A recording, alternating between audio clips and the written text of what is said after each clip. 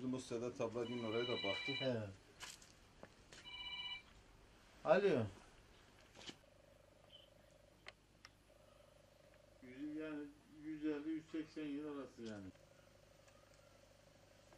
Bunun için. He, he. Gidiyorsak vereceğiz yani. Bilgi istiyorlar zaten.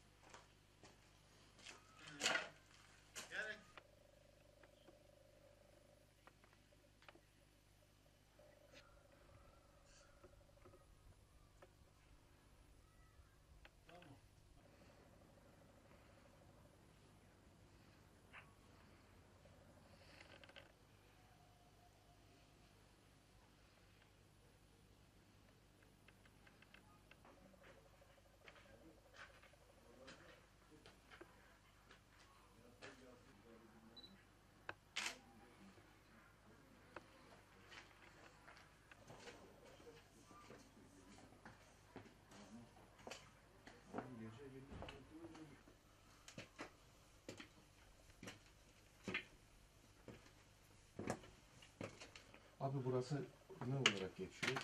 Burası kiler olarak geçiyor. Yani böyle burada bahçeleri, burada yemek yiyorlar.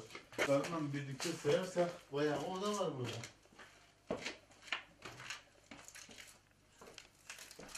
Hamam var. E, haramlık selamlık var merdivenleri.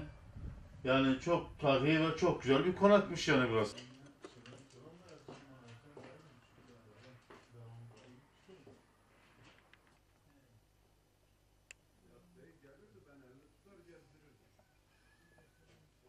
Allah'ım bir sigara al. Söylemek istemedim. Söyledin diye söyledim. Bu konak yaklaşık 250-300 yıl rahat var. 300 yıl. Bu konak e, daha önceden 3 katlıymış. Bir yangında yanmış burası. O yüzden dolayı sahipleri ya tadilat yapmışlar tekrar iki kat olarak kalmış. Bu konak e, yaklaşık 12 12 13 odalı bir yer. Çok güzel bir konak. Yani pek nadir bulunan bir konaklardan. E, helamlığı, selamlığı, Türk hamamı her şey içinde mevcut bu konağın. Çok güzel bir yerdi ama büyüklerimize büyük, büyüklerimize rica ediyoruz buraya mümkünse sahip çıkmaları. 35-40 yıldır karabe durumda.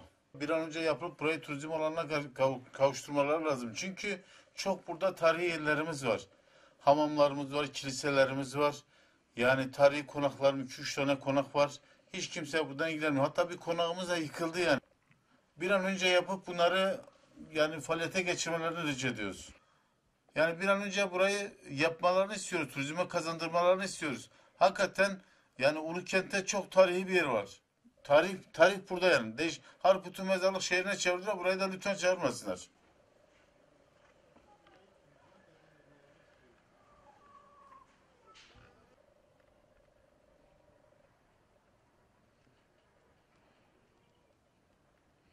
İstemiş vermemişler. İnceleme. Hı. Bahçe mahçe ekmiş ya He, altlara. he, Kaleci mi? he. Tırnaklardan. Yok, kanatlardan değil.